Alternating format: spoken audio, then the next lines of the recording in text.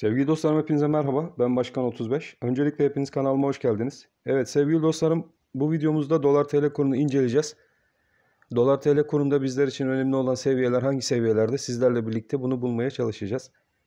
Evet sevgili dostlarım biliyorsunuz e, Cumhurbaşkanı Recep Tayyip Erdoğan'ın vermiş olduğu müjdenin ardından e, dolar TL kurunda bir miktar baskı oluşmaya başladı. Bunun sebeplerinden bir tanesi de e, ayın 22'sinde Para Politikaları Kurulu'nun yapacağı görüşmede önemli arkadaşlar. Merkez Bankası'nın e, piyasadaki oluşan beklentisi faiz arttırılacağı yönünde. E, bu beklentimi ben de e, piyasayla birlikte aynı beklenti doğrultusunda beklemekteyim. Dolar e, TL kurunda faiz artışının etkili olacağı ve bu faiz artışı öncesinde de dolar TL kurunda aşağı yönlü hareketlerin görülebileceğini düşünmekteyim. Videomuza başlamadan önce e, DAX'a da bir göz atalım. Dolar endeksine, dolar endeksindeki son durum nedir sizlerle birlikte? Bunu önce bir inceleyelim. Arkadaşlar dolar endeksi e, şu an güç toplamaya devam etmekte. Dolar TL e, uzun vadede e, burada gördüğünüz dolar endeksinin baskısı altına da girebilir. O yüzden e, dolar endeksinde takipteyiz. Dolar endeksi de artık e, dip seviyelerde burada bir fiyatlama yapmaya devam etmekte. Şu an 93.50 seviyelerinde bulunan dolar endeksi eğer bu seviyeyi yukarı yönlü kırabilirse arkadaşlar 93.80 seviyesini yukarı doğru kırabilir ve kapanışlara devam edebilirse dolar endeksi buradan e, uzun süreli bir çıkış trendine de girebilir. O yüzden dolardaki arkadaşlar için düşüşler e, yatırım tavsiyesi olmamak e, kaydıyla e, orta vadede bir alım fırsatı yaratabilir düşüncesindeyim. E, buradaki düşüncemin ana sebeplerinden biri de dolar endeksinden kaynaklı arkadaşlar. Dolar endeksi artık e, dip seviyeleri görmüş ve buradan yukarı yönlü bir hareket başlatma çabası içerisinde. 3 Kasım'da biliyorsunuz ABD seçimleri de var. E, bu seçimleri artık e, Biden 13-14 puan ABD Başkanı e, Trump'ın önünde geçirmekte. E, teknik olarak da baktığımız zaman burada sıkışma e, dolar endeksinde hala devam etmekte. E, ilerleyen zamanlar içerisinde de arkadaşlar buradaki sıkışmanın 93.70-93.80 civarlarından yukarı yönlü kırılmasıyla birlikte dolar endeksi tekrardan güç kazanmaya başlayabilir. Bizdeki e, Merkez Bankası şu an faiz arttırma baskısı e, dolayıyla dolarda bir miktar e, geri çekilmeler olabilir. E, fakat biz gene DAX'ın da takipçisi olmaya devam edeceğiz. Hemen dolar TL kuruna da bakalım. Dolar TL kurunda e, teknik grafikler bize ne gösteriyor? Sizlerle birlikte inceleyelim.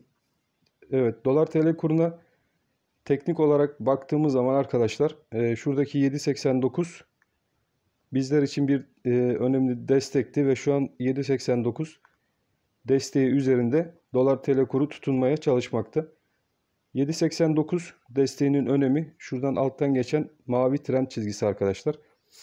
Evet bu mavi trend çizgimizi görüyorsunuz. Yükselen bir trend çizgimiz var mavi ve bunun da 7.92 seviyesinden geçtiğini görüyoruz. 7.92 altında e, hareketler tekrar aşağı yönlü.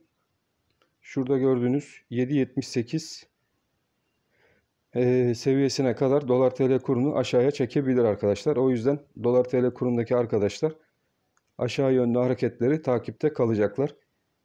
Dolar TL kurunda 7.78 ve 7.83 iki tane e, önemli destek noktası bulunmakta.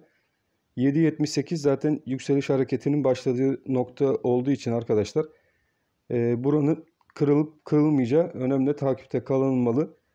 Bunun nedeni e, eğer 7.78 üzerinde e, geri çekilmelerde 7.78 aşağı yönlü kırılmazsa tekrardan yukarı yönlü hareketlerin devamı dolar TL kurunda beklenebilir. Dolar TL kurunda e, biliyorsunuz DAX'a baktık. E, DAX'ın hareketleri de e, eğer aşağıdan e, yukarıdan gelen düşen trend çizgisini yukarı yönlü kırabilirse bu dolar endeksinde de sert hareketler görülmesi muhtemel olarak gözükmekte. Bu da bize orta vadede dolar TL'nin tekrardan yukarı yönlü hareketlenebileceği e, ni gösteriyor arkadaşlar. E, o yüzden dolar TL kurundaki geri çekilmeler e, orta vadede alım fırsatı olarak da yatırım tavsiyesi olmama koşuluyla değerlendirilebilir şeklinde e, yorum yapabiliriz. Aşağıda 7.78 7.83 dedik. Dikkatle takip edeceğiz. Buranın kırılımı halinde hareketler tekrardan arkadaşlar e, 7.72 ve 7.68 seviyelerine doğru dolar TL kurunda e, geri çekilmelere sebebiyet verebilir. O yüzden e, Merkez Bankası'nın e, vereceği kararlar ve e, buradan gelebilecek haberler bu hafta içinde dikkatle takibimizde olacak. Önemli gelişmeler arasında gözükmekte. Ayrıca dolar TL kurunda ABD'den gelecek seçimle ilgili e, haberler de takibimizde. E, Trump'ın son dönemlerde yapmış olduğu e, yeni ataklar bunlar da takibimizde olacak. E, Trump'ın sağ solu belli olmaz. Her an bir tweet, e, her an bir Çin'e baskı. E, bu da altın tarafında yukarı yönlü hareketlerin hızlanmasına sebebiyet verir. E, şu an itibariyle kısada baktığımız zaman dolar TL kurunda geri çekilmeler bir miktar daha görebiliriz. Aşağı yönlü verdiğim seviyelere doğru. Evet dolar TL'deki arkadaşlara e, 7.96 üzerindeki dirençten bahsetmiştim. Bu direnç yukarı yönlü kırılamadı. Kırılamadığı müddetçe burası artık e, Merkez Bankası'nın vereceği karara doğru yavaş yavaş baskı altında kalıp e, aşağıdaki 7.83-7.78 seviyelerine doğru e, bir baskı oluşturacağı kanaatimiz hala devam etmekte. Evet şimdilik dolar TL kuru ile ilgili söylemek istediklerim bunlardan ibaret.